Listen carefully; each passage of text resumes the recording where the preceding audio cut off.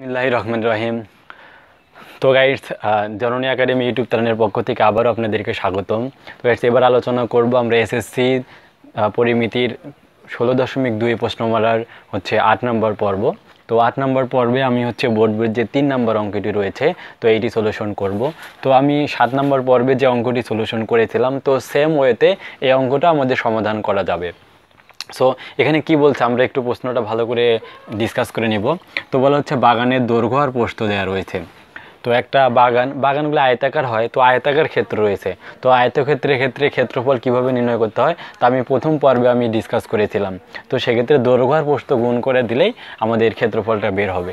তারা এর ভিতরে কোশ্চেন করছে, বাগানের ভিতরে সমান পার বিশিষ্ট একটা পুকুর আছে। তো আমরা যদি একটু চিত্র সহিত দেখার চেষ্টা করি। সাপোজ ধরুন এইটা ছিল আমাদের এই পুরো বাগানটা। তো বাগানের ভিতরে পুকুর খনন করা রয়েছে।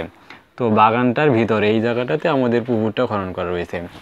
তো এখন তারা বলে পুকুরের বাগানের ক্ষেত্রফল, পুকুরের ক্ষেত্রফলে তারা দিছে, পুকুরের ক্ষেত্রফল, বাগানের ক্ষেত্রফলের অর্ধেক তারা দিয়ে রাখছে।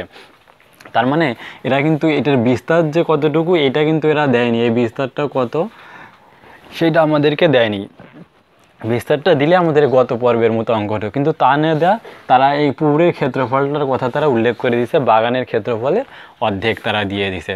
সো সেখান থেকে আমরা বের করতে হবে পুরের ক্ষেত্রফল, বাগানের ক্ষেত্রফলের হাফ অংশ হলে আমাদের পুরের দৈর্ঘ্যপ্রস্থ বের করতে হবে। সো এটি বের করার জন্য তাহলে আমাদের যেহেতু এই বিস্তারের মান কতটুকু সেইটা আমাদের জানা নাই তাই আমরা ধরে নিব। তো ফার্স্ট স্টেপে আমরা এখান থেকে ধরতে পারি বা আমরা আগে বাগানটা দৈর্ঘ্যপ্রস্থ দেওয়া রয়েছে, এখান থেকে বাগানটার আগে ক্ষেত্রফলটা বের করে নিব।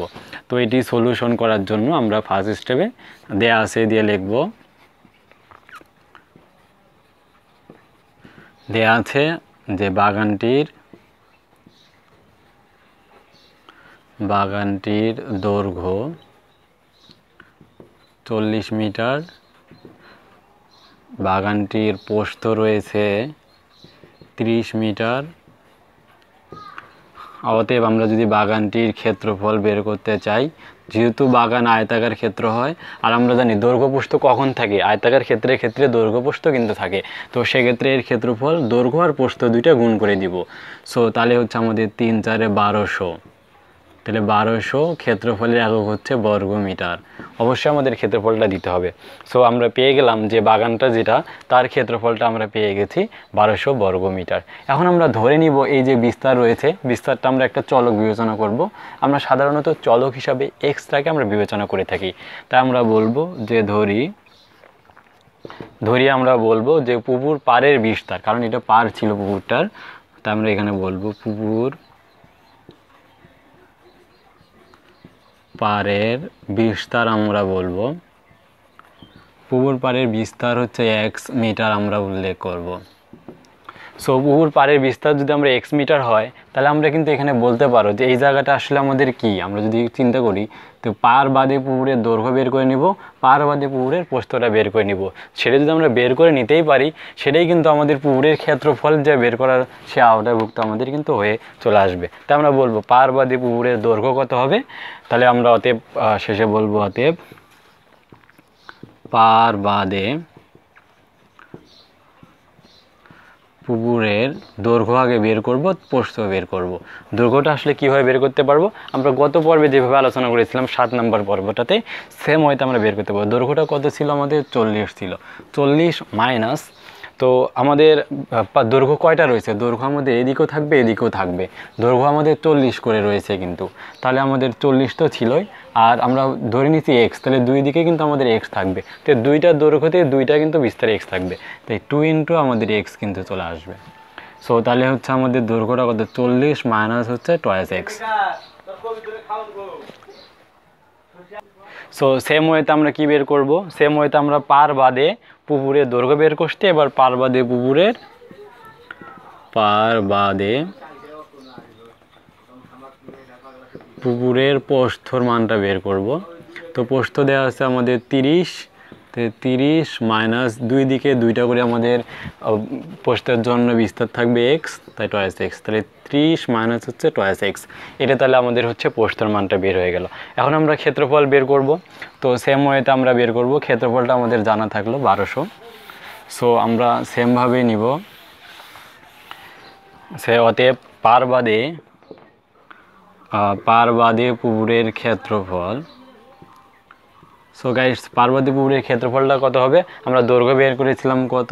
চল্লিশ মাইনাস টয়েস এক্স ইন্টু পোস্ত কত ছিল আমাদের পারবাদে?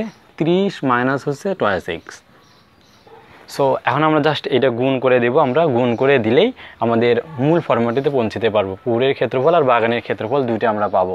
কারণ পুকুর পারবাদে যেটা ক্ষেত্রফল পারবাদী পুকুরের দৈর্ঘ্য প্রস্থ যে নিয়ে ক্ষেত্রফল হবে, সেটাই কিন্তু আমাদের পুকুরের ক্ষেত্রফল আসবে। সো আমরা এখন এই গুণটা আমরা করব। তাহলে আমরা গুণ করলে আসলে কত পাবো?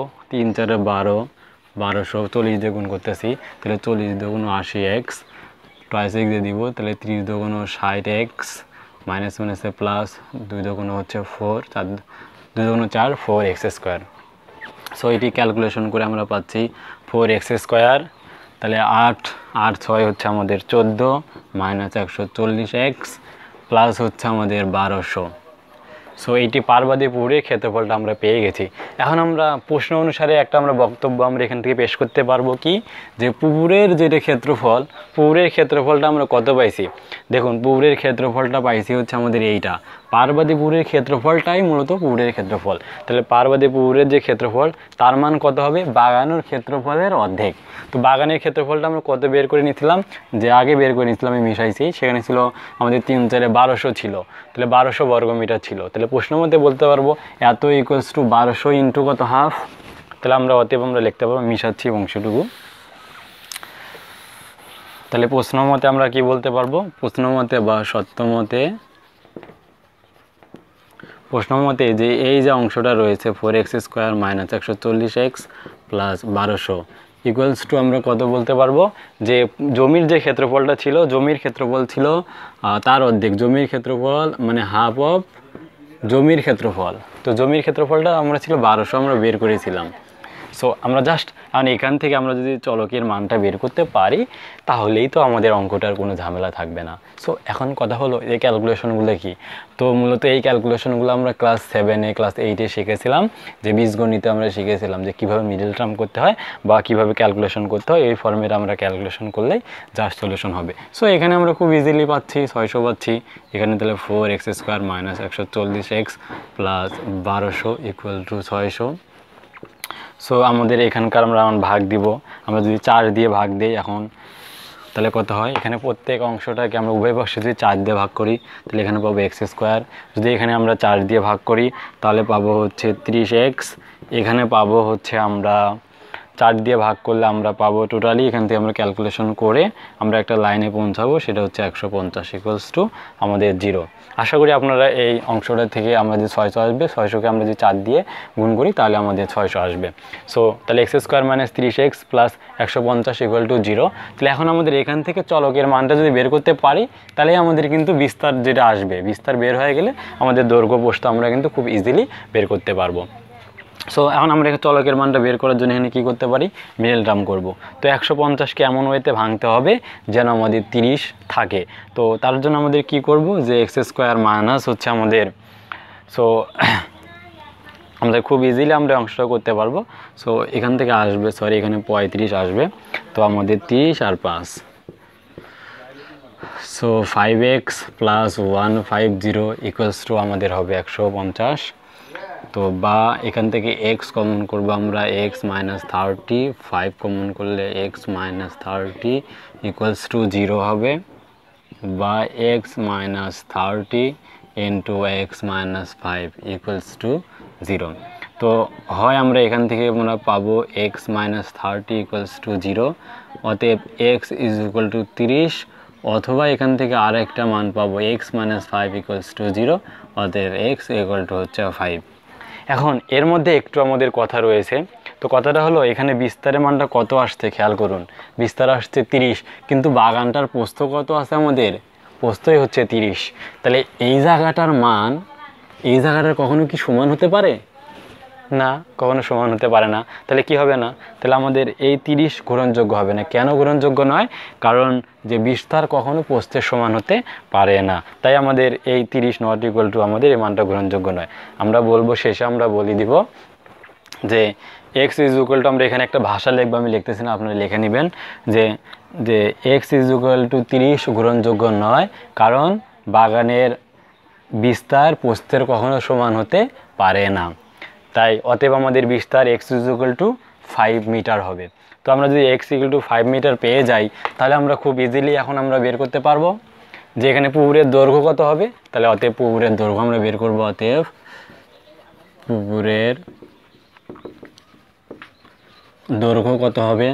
আমরা দৈর্ঘ্যের যে মানটা বের করেছিলাম, চল্লিশ মাইনাস টয়েস এক্স ছিল পুকুরের দৈর্ঘ্যটা। সো তাই এখানে আমরা দিব চল্লিশ মাইনাস টয়েস এক্স তাহলে এক্সের মান আমরা কত পাইছি? এক্সের মান পাইছি হচ্ছে ফাইভ তো এখানে আমরা ফাইভ বসাবো। তাহলে ফাইভ বসালে কত পাই? চল্লিশ মাইনাস পাঁচ দুগুণ দশ। তাহলে দ্যাটস হচ্ছে আমাদের তিরিশ মিটার বের হবে। তো সেম ওয়েতে আমরা যদি পুকুরের দৈর্ঘ্য বের হলো, আমরা পোস্তেও কত পাবো? পোস্তের মানটা পাইছিলাম আমি মিশাইছি, সেখানে কত ছিল? যে তিরিশ মাইনাস টয়েস এক্স ছিল। তো সেম ওয়েতে সেটা আমরা এখানে লিখে ফেলব, যে পুকুরের পোস্ত তিরিশ মাইনাস হচ্ছে টয়েস এক্স তাহলে এক্সের মান ছিল ফাইভ ফাইভ বসাবো। তাহলে তিরিশ minus ten equal to twenty meter so আশা করি গাইস আপনারা খুব ইজিলি বুঝতে পেরেছেন। তো আমরা শেষে লিখব যে নির্ণয় পুকুর পাড়ের দৈর্ঘ্য হচ্ছে আমাদের 30 মিটার পোস্ত হচ্ছে 20 মিটার। সো তাহলে আমাদের অঙ্কটা ইজিলি হয়ে গেল। তো আমি আশা করব আপনারা আমার ভিডিওগুলো দেখে, তো বোর্ডবের যে তিন নম্বর অঙ্কটি রয়েছে, তো খুব আপনারা ইজিলি বুঝতে পেরেছেন। আর এই অঙ্কগুলো মূলত বিভিন্ন ধরনের জব পরীক্ষা আসে। তো আমি আপনাদের জন্য সাজেস্ট করব অঙ্কগুলো খুব ভালো করে আয়ত্ত করার জন্য, যাতে আপনারা খুব ইজিলি যে কোনো অঙ্ক আসুক, আপনারা সলিউশন করতে পারবেন।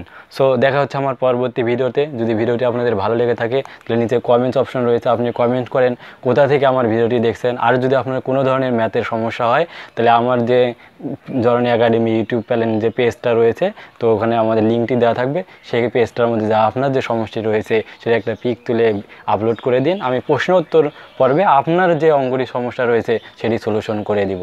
সো দেখা হচ্ছে পরবর্তী ভিডিওতে thank you watching my video আসসালামু আলাইকুম রহমতুল্লাহ